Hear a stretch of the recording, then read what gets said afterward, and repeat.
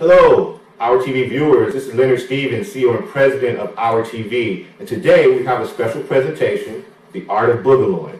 Now, Boogalooing originated back in the mid to late 70s, and it started off with groups like the Black Messengers, the Black Resurgence. We used to go to talent shows and watch them all. Now it's morphed into what the kids are doing now, which requires more turf dance moves. Those turf dance moves are were originated from Boogalooing. So I'm gonna show you how we used to boogaloo, and then we're gonna see a special skit we prepared for you by the Black Messengers and an interview.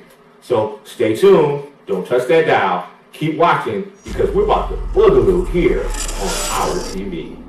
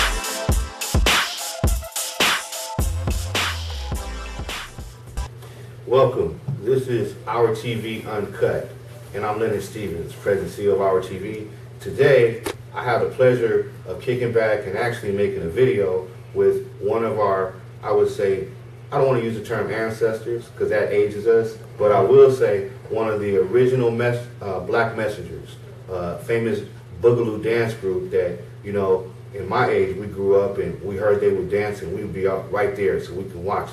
So steal some moves, learn a little bit, to say ooh, ooh, all that stuff we used to do when we was dancing growing up. So I'm going to talk to Mr. Chuck Powell, one of the original members of the Black Messengers. So tell me, Mr. Powell, how did the uh, Black Messengers get started and when? Well, they got started in um, 1972. Mhm. Um, a guy by Larry Brookshaw, um, Kearney Mayers, John Murphy, Michael Carter, and Marlon.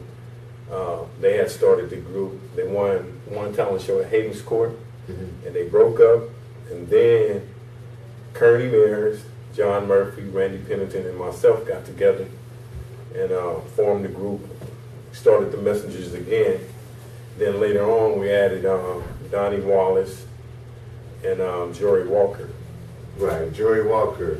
So you said a couple names there that bring me back, and you know, first you said uh, John Murphy. Yes. Now John Murphy was the mascot at Fremont Yes, High. School, and when we heard that John Murphy was going to start was going to dance, or they had a rally, like a homecoming rally or something, John Murphy would come on the rally in a tiger outfit and do his thing. Also, he was known for the Frankenstein. Oh yes. Yeah. So, so how's John these days? John is doing good. He's doing real good. Okay. Well, good. So, and then you said Jory Walker, also known uh, in the East Bay as Monk. I never forget one time Monk came up to Oakland High, the old Oakland High, not the new building, the old school building, and uh, it was right outside the gym. He went against John Murphy, and he broke it down like he was in like uh, uh, a safe. Oh yeah. And then he got smaller, went into another safe, Mm. Then he got smaller, went into another safe, Uh. and then he shut the door when he got small. He was all balled up. Oh, it yeah. was clean at the time. I'm just going back, man. Right, Some right. memories about when Boogaloos used to battle and stuff. real Boogaloo. Yeah, they're they're like uh, famous for me because I, I call myself a Boogaloo, but I was more like a second tier Boogaloo. Okay. That means that my name wasn't there like yours. Right, right. I was one of those was up and Boogaloo coming. He was up just up and coming. Yeah, yeah. So, but I really enjoyed making this video with you guys today, and I can't wait to get it on TV. Yeah, thanks for having us and having us to make that video. We enjoyed it too. It was so much fun because it was crazy because we put a video of you guys on TV, and uh, basically phones start ringing, and then I guess that's how you found out. Yes, yes. Um, um, I got a um, a call from uh, a lady saying, um, no, actually, I got a call from my friend. His sister called him, and he called me saying, yeah, my sister seen you guys aren't on KQED. I'm like KQED, but it was on Our TV. They were showing it, and that's when I hit you on Facebook because I, man, I had no idea. Yeah, so and it makes me feel good to know that people are watching us, and then what that makes you is it brings you back to the, the local celebrity status that Oh, you had back man. then. Because you know, I kind of I kind of look at what you're doing to being similar to uh, Otis Williams and the Temptations, Oh, where yeah. Otis, you know, basically after the Temptations faded, some passed away, some left the group. He kept the Temptations going and bringing Yeah. new members. So you one of the original Um, members, yeah, and I'm you still to- bringing it and doing it. Yes, I'm still trying to hold it together and trying to keep um, Boogaloo alive. You know, let them know that Oakland created it, and because there's a lot of cats out there saying um, Oakland wasn't doing it. And we have this conflict with them. So we we know where it came from, and they know where it came from, but we still have this argument on Facebook about it. Where Boogaloo originated. Yes, yeah, I only know the base, so I'm just speaking for myself. yeah. That's where it You came from, Oakland. But boogalooing, man, to me, it's like people don't understand. It's kind of a mixture of a little James Brown because there's a lot of wiggling movement and stuff like that that's going on. Yeah, you know, but and see, James Brown had a style called Boogaloo when he do the skates. Yeah, He come yeah. up on one Footwork. leg. But see, Oakland Boogaloo, So boogalooing, though, a lot of people don't know. Part of it kind of came from James Brown a little bit because you know he had the footwork and Yeah. some of that footwork was incorporated in it. You know he had good movements. So, but it kind of, you know, for Oakland, to me, boogalooing in the East Bay kind of took on, uh, uh, own identity. yeah, own Yeah. flavor. Yes. Because yeah. you had different styles of boogaloo. Oh, of course. Right? Yes. We talked about John Murphy, and he had the Frankenstein Mhm. and everything. And Monk, he had kind of different little type Little of movement to worming, him. little worming. Mhm. Yeah. And then, then you had these. You had one plus one. This is like the another generation older than us, right? They come out. They do that Dynarama style of movement, like Mhm. you know, Seven Boards of Sinbad. So they Mhm. brought that to the to the Oh, Boogaloo 3D? game too. Yeah, they come, no, like no, 3D. it's not. It's not the three D. Mhm. They don't move like they just move like like a monster. It's not the three D. It's just it's just come from the inside out how they be moving. You know, they just Uh-huh. it's not so much of the three D ticking that came Uh-huh. that came later. Yeah, but how they how they was doing what they was doing like Albert Milton. Mhm. And Michael E. Knox and Jerry, they had a whole different little flavor that they brought to Boogaloo. But then you go beyond them, then you got Donald Matthews down by Fremont and his brother Ricky Mhm. Matthews and Ted Williams and Steve Williams. You got other Boogaloos down there by Yeah. Fremont had a different style from like Anthony Newsom. yeah, like Tony Newsom. Tony Newsom learned from them guys, Ted Williams and Steve Williams and Larry Williams, Mhm. all of them. He he got Oh, you have. Boogaloo disciples. Oh, yeah, You would have disciples that want to emulate your style. I remember that. But then it's some outward influences too that kind of influenced the shape and molded Boogalooing. Like say for example, remember when the lockers came out? Yeah, I remember And then they they had. Slim the robot. Mm-hmm. Yeah. So what's your experience with Slim? Slim was okay, but um, um, strictly East Oakland. And when I'm gonna look at Robot, I'm gonna look at Henry Fisher. I'm gonna look at John Murphy. I'm gonna look at Derek Levin. That's you know when we speak of Robot. But Slim was tight with what Yeah, he you was know tight. he was tight with what he do. he they were able to go national with theirs, so Yeah. that was good. And then they also had rerun, and we all know his success, whatever. But then you had this uh, this white couple from I guess they were from Europe, obviously, and uh, Shields and Yarnell. Oh yeah, they they yeah, they kind of like mimed it a little bit. Yeah, bit. they mimed, They turned like- it into mime. Yeah, it's a it's so funny because when I when I moved to Oakland, hmm my mother was taking me over to San Francisco, so we we're walking down there past Emporium Capwell, and uh, so this dude he up in the window right mannequin, and so he moved, Mhm. and I seen him, he just stopped right. hmm So my mother and them they still walking. I walked to the glass and I'm looking at him. When I said, I know I seen this dude move. He didn't move no more, right? He was just he was just my mother Mhm. telling me to come on, boy. You know, so I'm like, I know that I just seen this cat moving. He just Mhm. moved, but you know, he went back in his position. That was- That was kind of nice. Yeah, up until this day, you still see on the wharf, you see people all tinned out or gold Oh, painted yeah. up, and they standing on cans doing stuff to entertain people. Oh yeah, I So- know some of them cats is out there doing that. Yeah, and then then you had from there, you had when when disco hit, then folks start kind of converting away. Even when they was doing uh, break dancing and electric boogaloo, it would be one boogaloo, Mhm. right, and then it would be people spinning and doing all that. Oh, that was kind of taken Seems into like, another. well, electric boogaloos, Mhm. them the ones. Well, I don't like the controversy. That's where the controversy because they said they created boogaloo Right. from Fresno. Mhm. You know, but anyway, anyway, They growing corn out there. They about boogaloo? Yeah, That's crazy. So yeah, so then after that, now see now it's crazy. If we migrated, it was funny. I was looking at some old Our TV Mhm. today, and I, I remember when we came out with the beat is going on, and that was when the go dumb era hit. That's where everybody was going hyphy and going Oh, dumb okay. and getting stupid Mhm. and all that. And you got these kids. We had this underground where E40 and Keak da Sneak, and that was a thing. Tell me where to go, right? Oh, okay. And we did that at um, 88th and uh, MacArthur. Youth Uprising. Oh, yeah. So that was Oh, underground concert. It was really nice, but then the kids started really taking up room on the floor, Mhm. which is now what they call taking up room on the floor, Oh, yeah. turf dance. Oh yeah, that, So that, that I like that. I like turfing. I I've been trying to incorporate some of it, but I'm just old Right, to right. be doing Yeah, all that disjointed Oh, stuff and all that. And all I, that. I love turfing. I can sit there and watch all of them get down. They, Man. they kind of remind me.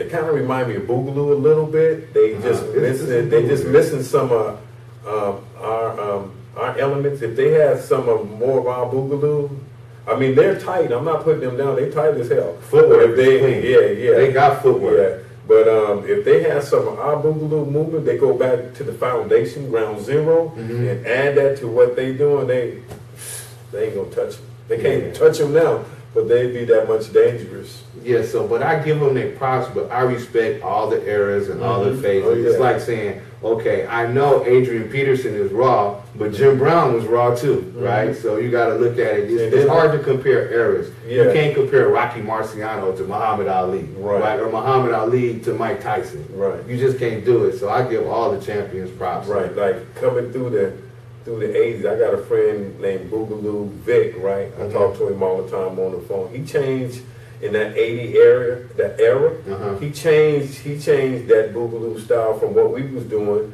He changed into the, the waving and all that. Mhm. Yeah, he took it to a whole nother level.